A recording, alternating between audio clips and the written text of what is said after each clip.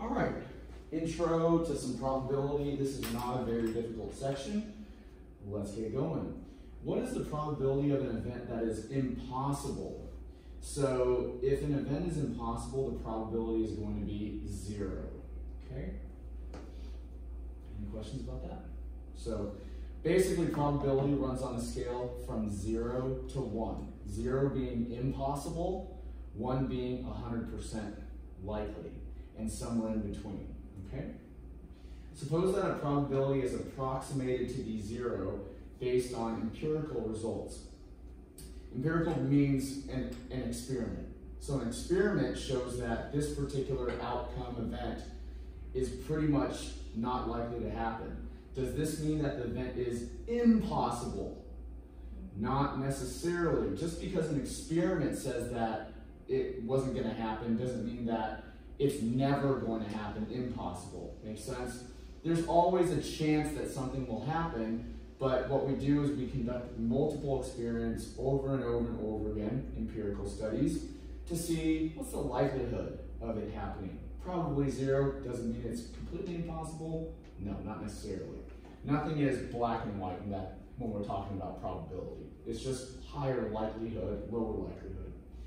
In a probability model, the sum of the probabilities of, of all outcomes must equal one. Yes, this is true. We'll talk more about it as we go through problems. Probability is a measure of the likelihood of a random phenomenon or chance behavior. This is true, but notice the likelihood of something happening. Okay? In probability, a blank is any process that can be repeated in which the results are uncertain. This is known as an experiment. Pretty straightforward. I mean, look at these other options. Outcome, unusual event, sample space, no. An experiment is basically something that, a process that can be repeated to see if what happens, we don't know, with results. Okay? Next, is the following a probability model? What do we call the outcome yellow? Well, let's answer the first question. Is the following a probability model? For this to be a probability model, all of those probabilities, remember like I said, they must total what? One. 1. They are going to range between 0 and 1. And when you're doing the whole probability and determining if this is a model, you have to add these together to check off if it's 1. If it doesn't, then you're not even moving forward. So 0.35 and 0.3 is 0.65. This is another 0.3, that's 0.95, still 0.95. That puts it over, doesn't it? That puts it as at 1.05. So if you add all these together, this is a probability model of 1.05. That's not correct. All of those must total must total exactly 1. So no, it's not because the probabilities do not sum to 1. They have to sum to 1. Not less than, not greater than. Okay? What do we call the outcome yellow? So even though this is not necessarily a correct probability model, we still can just at least say something about yellow. What can we say about yellow? Impossible. Yes. Now, when we have a zero, then we can call it impossible. Make sense? Any questions about that? Okay. It's not going to happen, at least in this particular model. Why is the following not a probability model? What did I say probabilities have to be? Fall between what numbers? Zero. And can they be negative? Mm. No, they can't. So you cannot have negative probabilities. Green is a negative probability. Something is wrong. So we cannot have probabilities less than zero. And that immediately um, uh, eliminates this from being a probability model. Okay. Which of the following numbers could be the probability of an event? Can zero be an event? The probability? Can zero? Yes, it can, right? That's impossible. Can 1.25? No. no, because 1.25 is greater than our range. It has to be falling from 0 to 1. So no. 0.04, yes. 1, absolutely. 0.27, yes. Negative 0.42, absolutely not. So as long as the values fall, between zero and one, they can be a probability. Now, if they fall below zero, above one, absolutely not. Okay, next. In a certain card game, the probability that a player is dealt a particular hand is 0.42. This is clearly a valid probability, as we've established. Explain what this probability means. If you play this card, well, let's first uh, answer that one. What does this probability mean? It means that approximate. So the thing that you want to do in this section is never allow any answers in that say exactly. Like we said, probability is an approximation. It's not black and white like I referenced earlier. So A and D are immediately out, and for future questions, you need to immediately eliminate them if they use black and white terms like exactly, um, precisely, things like that. So B and C are, are our options. So a probability of 0.42 means that approximately 42 out of 100 dealt hands will be that particular hand. Good. Everybody with me so far? Okay. Now, the second half of it, if you play this card game 100 times, will you be dealt this hand exactly 42 times? What did we say about the word exactly? No. It's not to be used in our context. So, no, you will not be dealt this hand exactly 42 times since the probability refers to what is expected in the long term. That's correct. Okay? So, in the long term, that means that if you play it longer and longer and longer, you're going to get pretty darn close to 0.42. Make sense? Okay, it doesn't mean exactly because exactly is like a short-term type of concept. So what are, what are the words that you want to eliminate and not use? Short-term, exactly. Those are words that should not be part of your vocabulary when you're dealing with probability. Probability is just high likelihood, long-term, okay? Suppose you toss a coin 100 times and get 89 heads and 11 tails. Based on these results, what is the probability that the next flip results in a head? Well, just 89 divided by 100. Which is? 0.89. You got it, 0.89. So this is easy because it's out of 100, so you can clearly see it's 0.89. But if you didn't, just simply take what are they looking for? In my problem, they're looking for a probability of a head and divide it by the total number of times that you flipped your coin or whatever it happened to be. So that will give you your exact decimal. Okay? Questions about that? All right, fantastic. Number 10. Bob is asked to construct a probability model for rolling a pair of fair dice. He lists the outcomes as those. Now, if you're not sure what they're referring to, let me help you with that. So we know that a dice is one, two, three, four, five, six sides, right? In general. And since we're rolling two of them, we're gonna set up a table this way. Everybody follow me? So here's dice number one and dice number two. You're rolling them twice, which means that you could get a one on the first dice and a one on the second. Follow me? You could get a two on the first dice and a one on the second. I'm not gonna go and fill out this entire table, but you can see at the very end of it, we could get a six and a six. Everybody follow? So there are 36 possible ways that this can come up.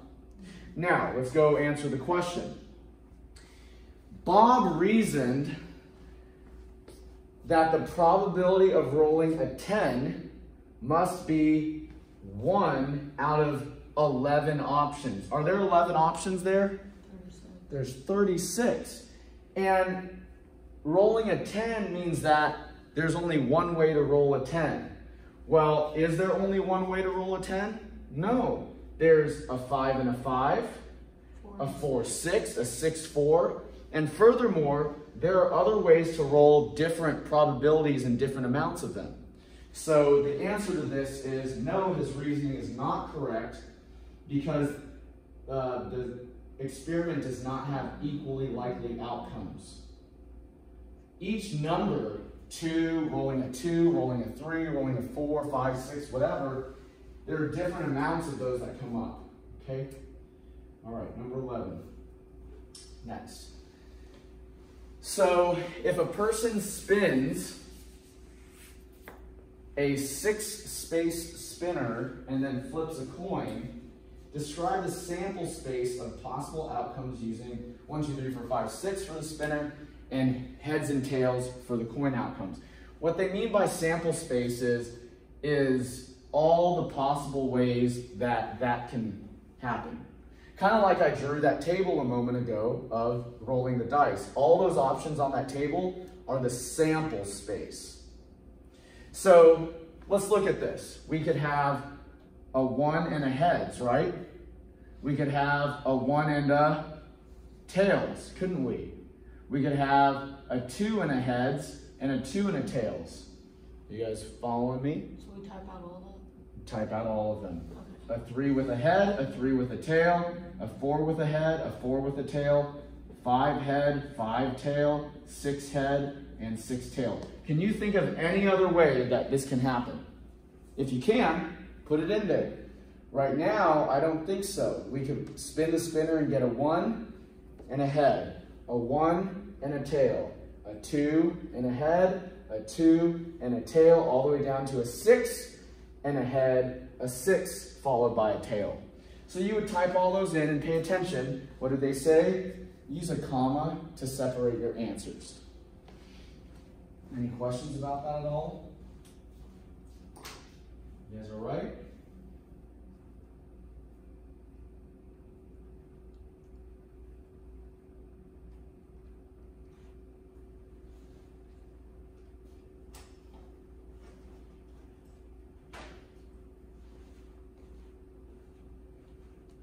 Did you get it correct? Yes, good. Ready to move on? Great. Let's go on. Number 12. According to a certain country's Department of Education, 39.2% of three-year-olds are enrolled in daycare. What is the probability that a random, randomly selected three-year-old is enrolled in daycare? So when you're talking about probabilities, you typically do not use percentages. You will usually, if they give you a percentage, as they have done in this problem, convert it to a Decimal. Because we have said that all probabilities should be in a range from zero to what number? One. So all probabilities must fall within this range. Is 39.2 falling within there? No. But when you convert it to a decimal, it sure does, doesn't it? 0.392. So always be aware that when you're referring to probabilities, you don't talk in percentages. However, we as people use percentages a lot. So a lot of people will then take that 0.392 and actually convert it to a percentage because that's a lot easier to comprehend than 0.5. from zero to one hundred Exactly. Yes, it's just scaled differently, okay? All right, next. Let the sample space be S equals that. Now, again, let's talk about this. What is sample space? It's all the possible ways that things can happen in this particular scenario. For whatever this is, I don't know what this is. Maybe this is a spinner with 10 unique spaces on it. Maybe it's a 10-sided die with 10 different um, numbers on it. Whatever it is, but this is it. This is it for this problem. Suppose the outcomes are equally likely. Compute the probability of the event 3, 7. What does that mean? They're asking you what are the chances of rolling a 3, spinning a 3, getting a 3, combined with the chances of rolling a 7. In other words, tell me how many ways I can get a 3. One 1 out of the 10. Everybody agree?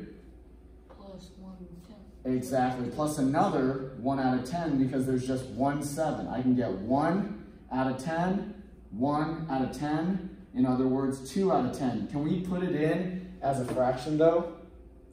No. No, they want it as a decimal, which means we got to do that division, don't we?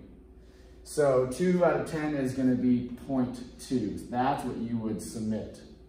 Alternatively, what you could have done is made this 0.1, 0.1, 0.1 plus 0.1 is 0.2. Whatever you want to do. You want to convert it early on or you want to convert it at the end. It doesn't really make a difference. Any questions about that? You guys okay? Yeah? Okay, next. All right, um, let the sample space be that. Okay, so something very similar, same sample space. Wait, question real quick. Okay, if Yes. mine says an even number less than eight, that's not including eight, right? Correct, not including. If they wanted to include it, what would it have to say? They'd say including, or what would they say? Less than. Or equal to. or equal to. So when they say less than nine, that means that you cannot have nine itself, right? It's gotta be something less than nine. So even number less than nine, what is that? Two, four, six, and eight. Yours might be something completely different. Well, what is that? What are the chances of that? For me, that is four out of 10. Point four. So 0.4, exactly. Not as a fraction, as a decimal, because we understand that probabilities must be from 0 to 1. Got it? Okay, fantastic. Let's move on to the next one. All right, a survey of 100 randomly selected high school students determined that 90 play organized sports. What is the probability that a randomly selected high school student plays organized sports? What do we need to do? Simply do what? Divide. 90 divided by 100, which is just simply, yours might be different, of course, 0.9, right?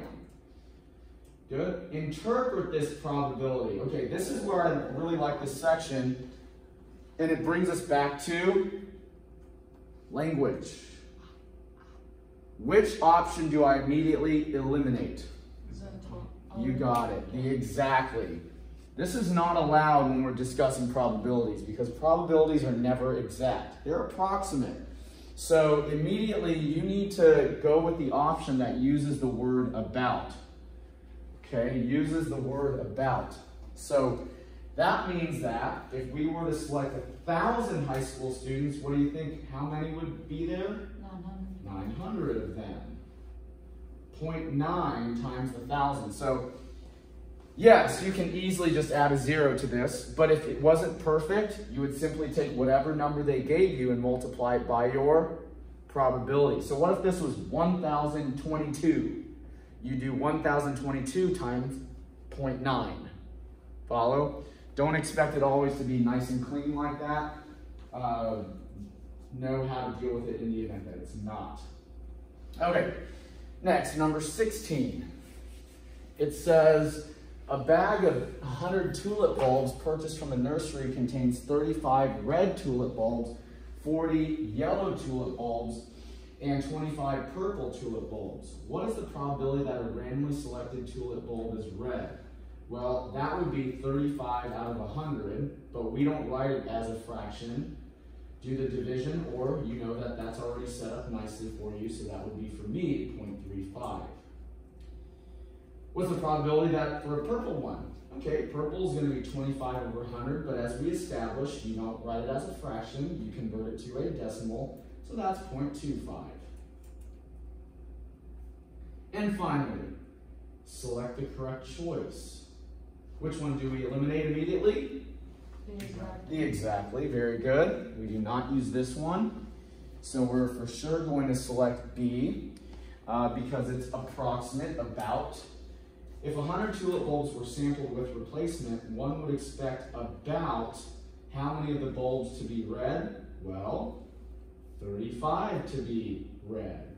How many bulbs to be purple? 25. This one was really easy because the bottom line is they gave you another 100 tulip bulbs, right?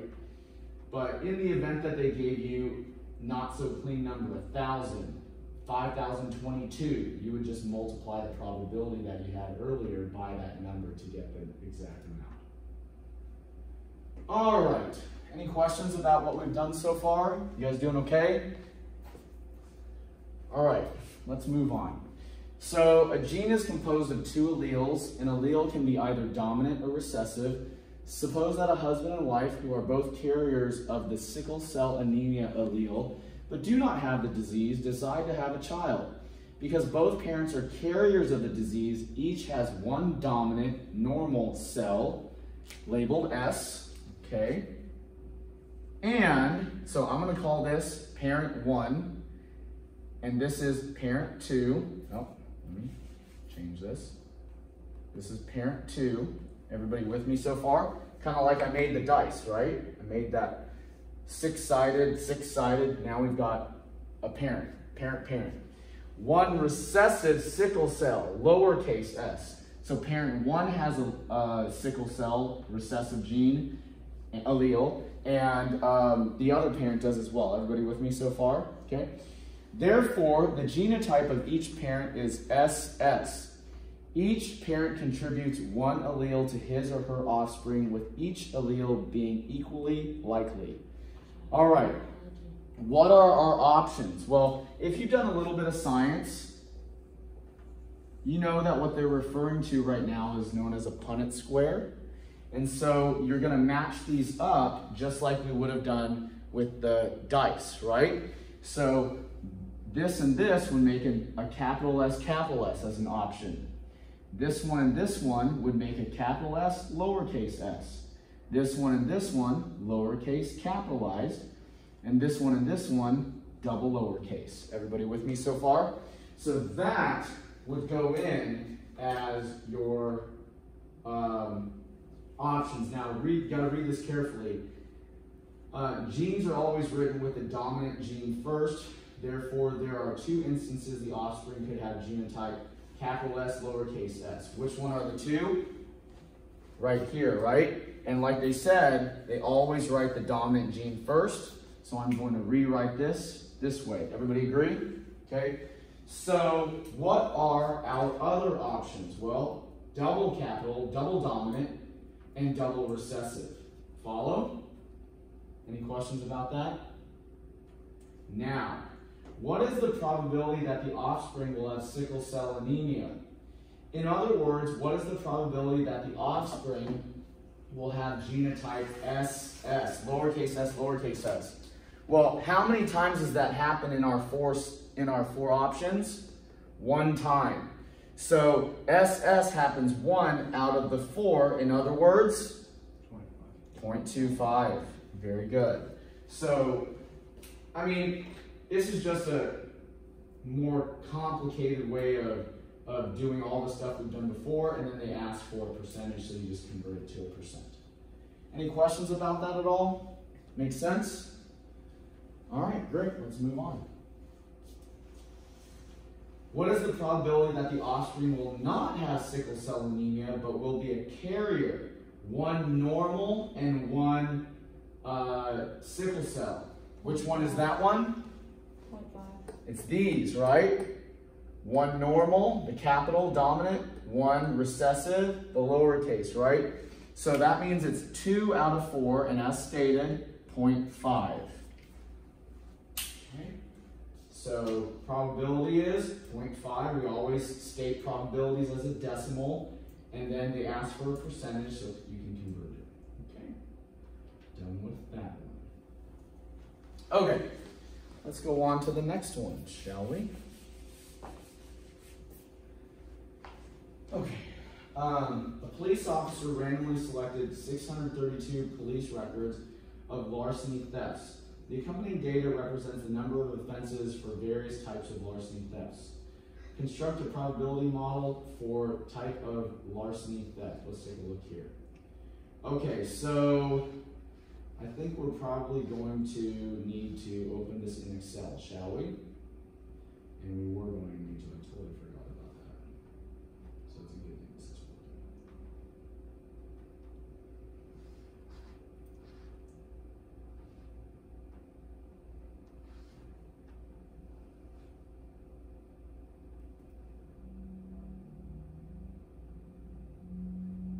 All right.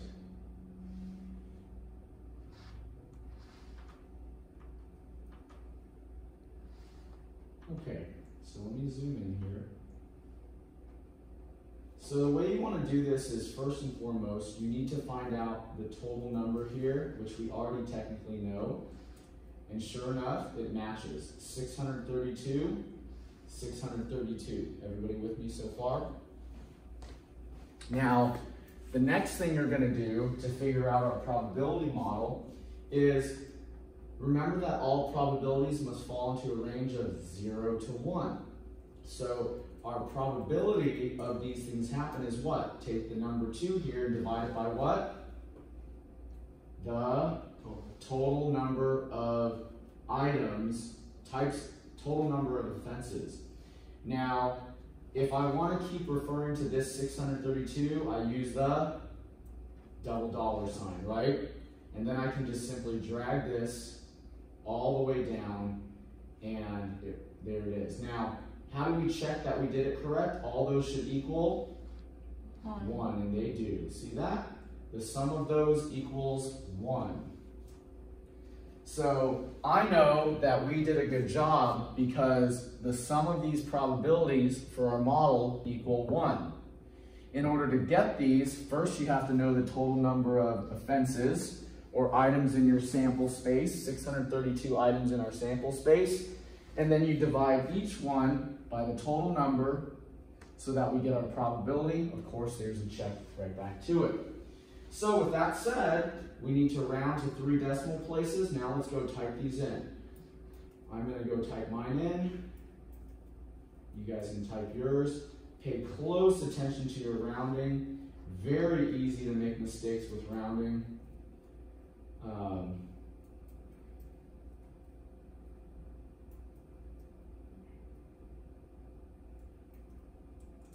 that's right, and it is, great. Any questions about that at all? So notice how I rounded to three decimal places accordingly. You guys know how to round. We've gotten this far. You guys are pretty solid in that area. Any questions about that?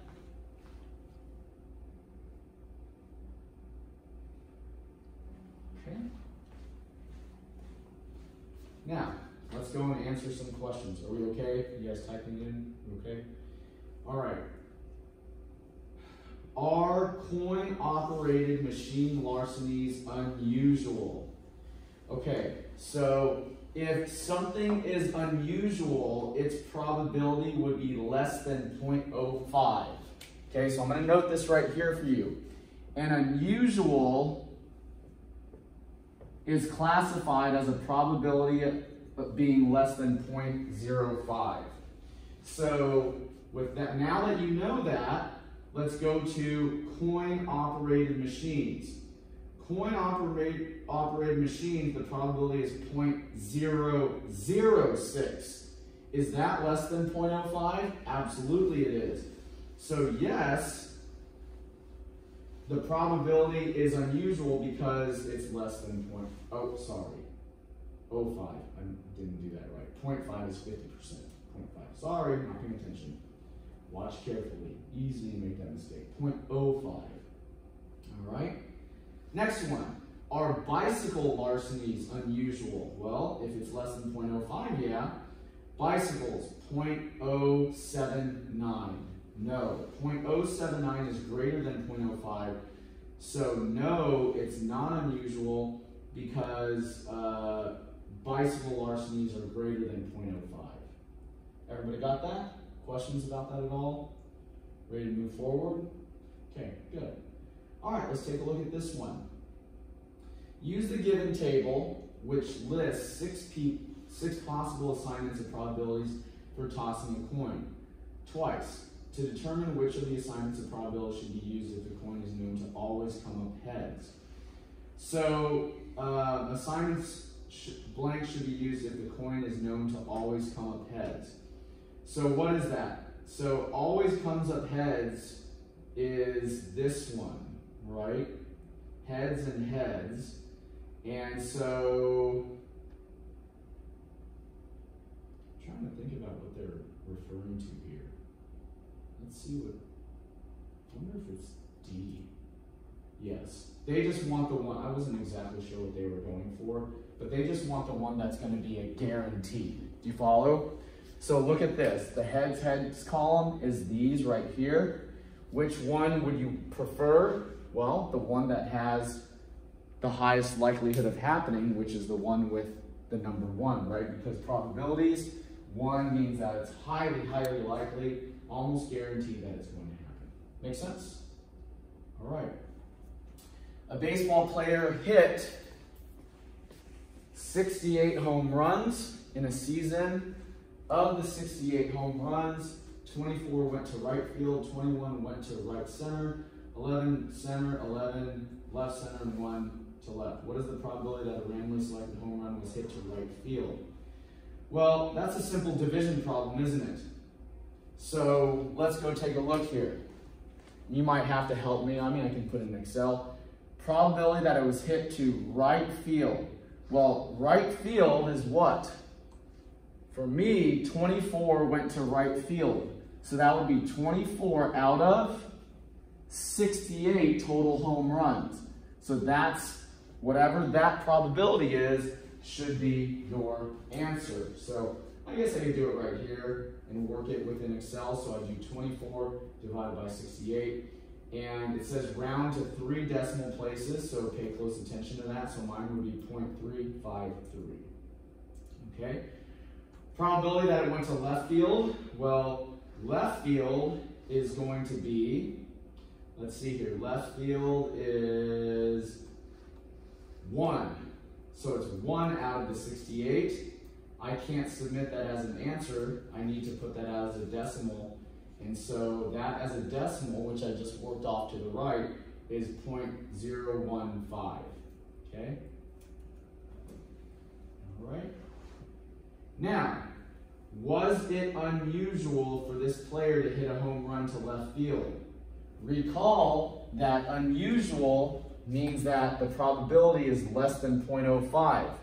Is 0.015, which is what they're referring to with respect to left field, is that less than 0.05? Yes, it is. Since 0.015 is less than 0.05, the probability of going to left field, yes, it is unusual. Make sense? Questions about that at all? All right, let's keep on rolling. Okay. You suspect a six-sided die to be loaded and meaning that it's not balanced, right? That it's not equally likely outcomes. You suspect this die to be loaded and conduct a probability experiment by rolling the die 400 times. The outcome of the experiment is listed in the following table. Do you think the die is loaded and why? Well, um, let's see here. We have rolling a 1, 2, 3, 4, 5, 6. Now, without even calculating probabilities like we did with the um, type of larceny theft over here on the right, does this look like it's probably loaded? Oh, yes. Yes, because the frequency of two and three is double all of the others, right? If this die was, was balanced, should all of these be about the same number? Yes, they should. So I would suspect, suspect that the die is loaded because two of the values have a higher probability of occurring than, ex than expected. Okay? Good job. All right. In a recent survey, I should probably be erasing some of this.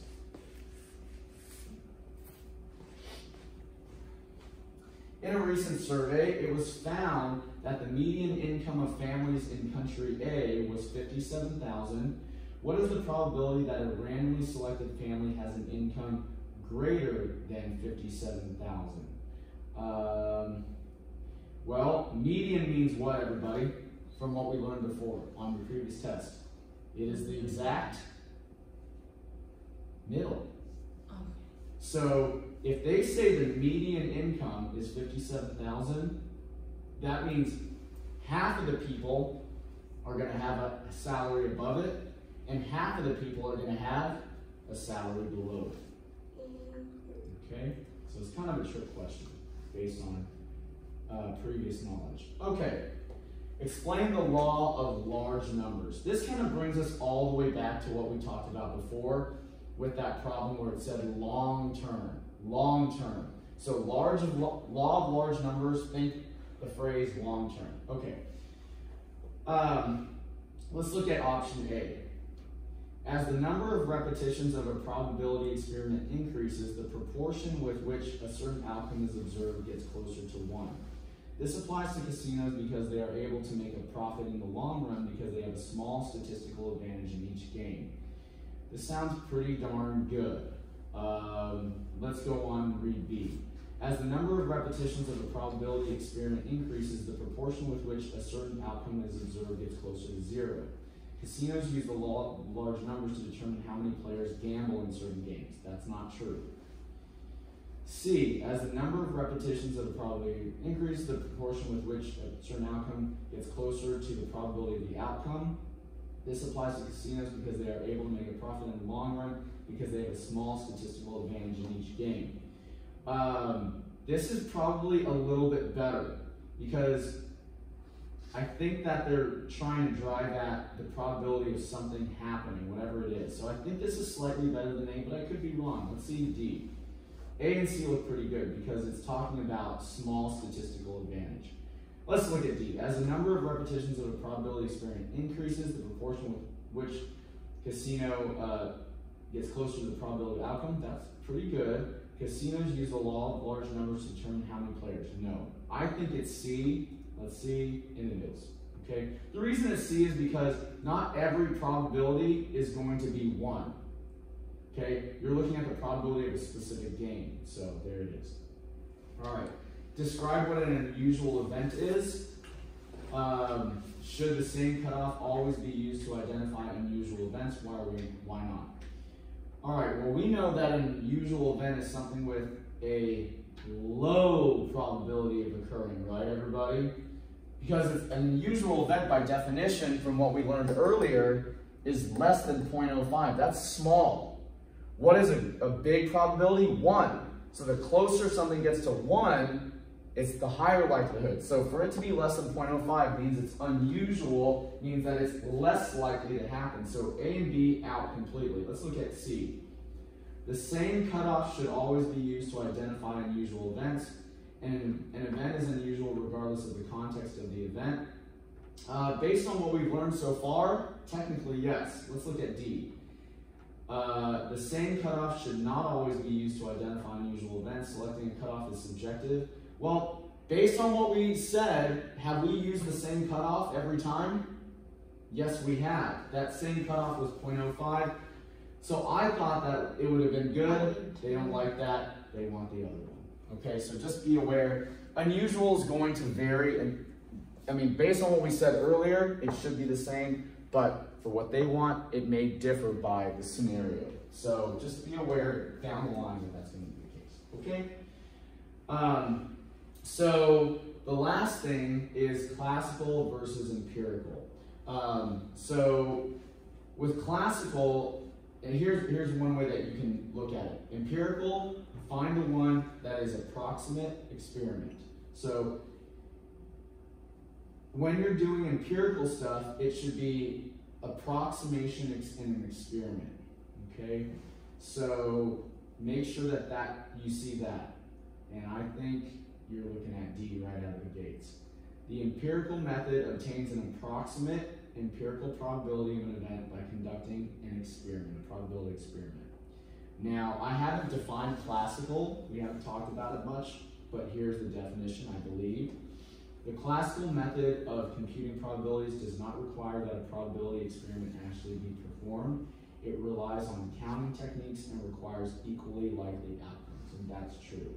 Okay, we've talked about it indirectly through the problems we've done, but there's the full definition. Got it? And that's it.